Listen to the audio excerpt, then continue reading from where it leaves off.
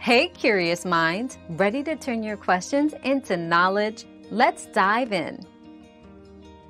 Burritos can be a healthy choice depending on their ingredients. Opt for whole wheat tortillas, load up on vegetables, and choose lean proteins like chicken or beans.